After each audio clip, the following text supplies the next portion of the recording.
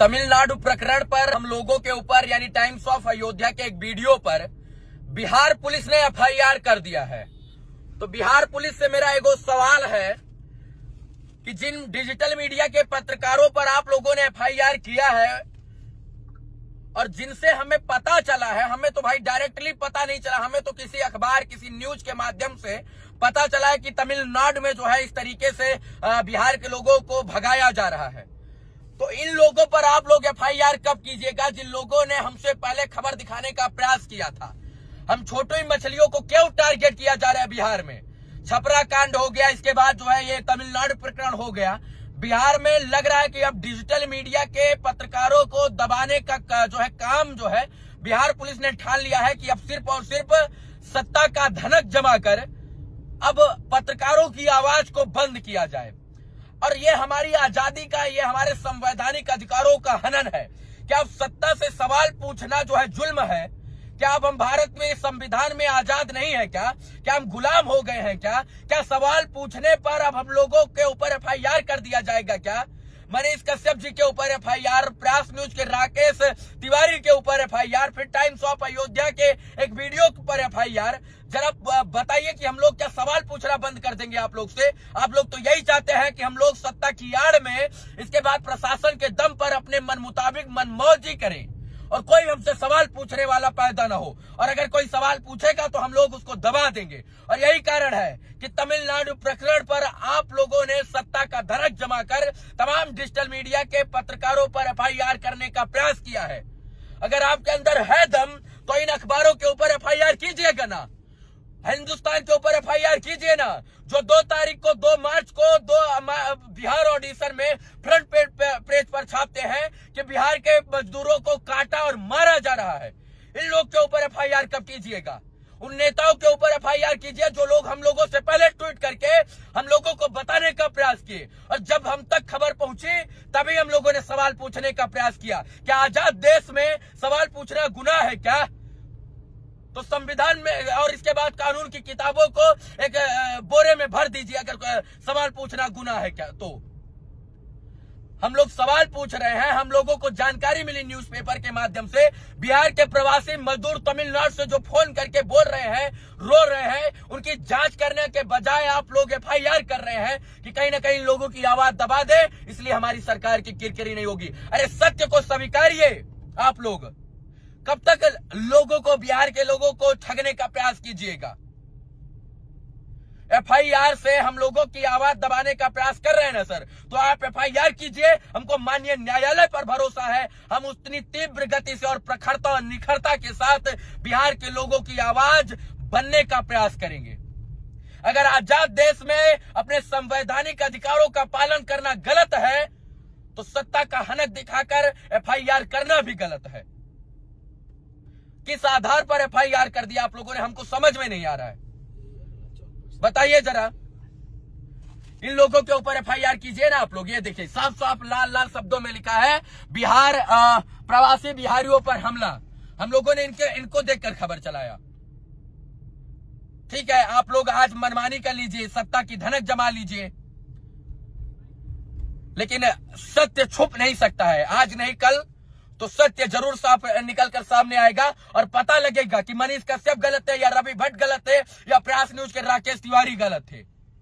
और अब तो होली खत्म हो गया है, अब तो होली खत्म हो गया और जा जा के स्टेशनों पे और बस स्टैंडों पे जाकर देखे ना सरकार और पक्ष विपक्ष के लोग जाकर देखें। कि किस तरीके से जानवर की तरह यहाँ से बिहार से पलायन कर रहे हैं मजदूर दिल्ली, पंजाब, हरियाणा, तमिलनाडु, चेन्नई, यहाँ से कैसे जाने पे मजबूर है? जाकर देखे खुद पता चल जाएगा आप लोगों को भी। और एफआईआर हुआ है, कल होली और तीज, दिवाली और दीपावली पर भी जो है, घर नहीं गए। बिहार के अंदर रहकर, बिहार के लोगों की समस्याओं को दिखाने का और बताने का प्रयास किए। और आज भी ग्राउंड पर, बिहार के अंदर रहकर बिहार के लोगों की आवाज़ बताने और दिखाने का प्रयास कर रहा हूँ। और ज़रूरत पड़ी तो माननीय न्यायालय के सामने जो है इन तमाम बातों का जो है बात भी रखी जाएगी। हमें माननीय न्यायालय पर भरोसा है।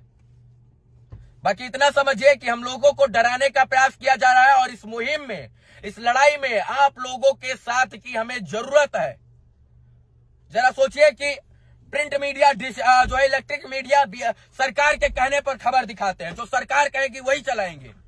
लेकिन हम लोग आज़ादी के साथ बिहार के गरीब मजदूर पिछड़ा किसान की आवाज़ बनने का प्रयास करते हैं तो हम लोगों की आवाज़ अब दबाने का प्रयास किया जा रहा है। जानते हैं कि सरकार के नाक में हम लोगों ने दम करके रखा हुआ है। उनको पता है कि आज के युग में प्रिंट मीडिया और इलेक्ट्रिक मीडिया उतना सवाल नहीं पूछ रही है जितना डिजिटल युग के मीडिया के पत्रकार सवाल पूछ रहे हैं। इसलिए इसके बात को कैसे बंद किया जाए इसके मुँह को कैसे दबाया जाए ये रणनीति बन रही है। आप रणनीति बनाइए।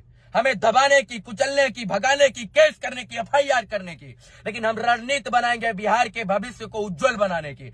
हम रणनीति बनाएँगे बिहार के बिहारियों के मजदूरों की बात करने की। हम रणनीति बनाएँगे कि बिहार में कैसे बिहार के लोगों का जो है भविष्य बर्बाद किया जाता है और तमिलनाडु जो है, और महाराष्ट्र और दिल्ली में किस तरीके से बिहारियों को प्रताड़ित किया जाता है। आप हज़ार कोशिश कीजिए हमको बैक फुट पर ले जाने की, लेकिन हम फ्रंट फुट पर आकर ज़रूर बिहार के लोगों का आवाज़ बनने का प्रयास करेंगे। हमें फ़र्क नहीं पड़ता कि आप, आप हमारे बर्थडे पर सेलिब्रेट करते हैं हमको बधाई देते हैं हमको तीज त्योहार होली हैप्पी होली बोलते हैं।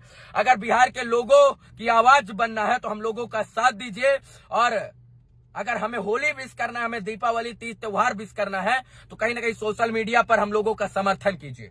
कहे कि आज अगर हमारी आवाज़ को दबा दिया गया तो जो लोग सत्ता के से सवाल पूछ रहे, सिस्टम से सवाल पूछ रहे, सिस्टम की काली करतूतों को दिखाने का प्रयास कर रहे हैं, वो लोग कहीं ना कहीं बैठ जाएँगे और उठने से पहले उनको बैठा दिया जाएगा। इसीलिए सोची समझी रणनीति के तहत हम लोगों के ऊपर एफआईआर किया जा रहा है कि इन लोगों की आवाज़ को दबाया जाए तो इन लोगों को देखकर चलने वाले तमाम जो छोटे छोटे बड़े बड़े डिजिटल युग के पत्रकार हैं, वो लोग आपस जो है कहीं ना कहीं डर जाएँगे।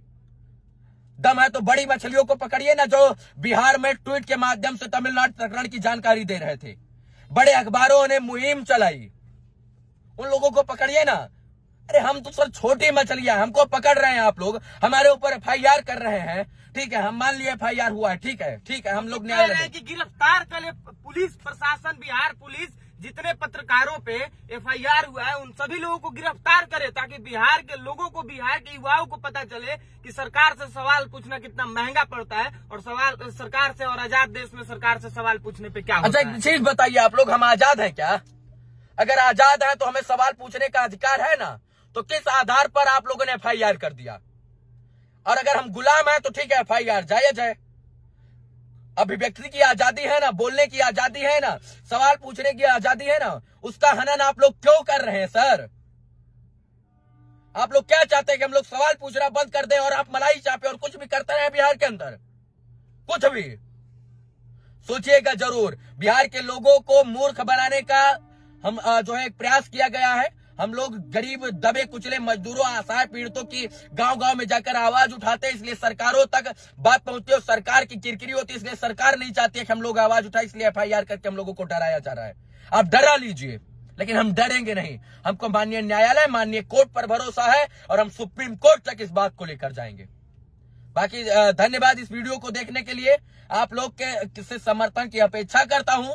चाहे मनीष कश्यप भैया हो, चाहे राकेश भाई हो, या जितने भी लोगों के ऊपर, या हमारे ऊपर एफआईआर हुआ है, ये तमाम लोग आपके लिए लड़ने का प्रयास करते हैं, और ये लोग आपसे अपेक्षा करते हैं यार, कि आप लोग इनके साथ दुख की घड़ी में खड़े हों। हम लोग अपेक्षा करते हैं कि हम लोगों के ऊपर अगर कोई मुसीबत आए तो हम लोग आपके ऊपर हरदम खड़े रहते तो आप लोग भी हमारे ऊपर हमारे साथ खड़े रहने का प्रयास कीजिए।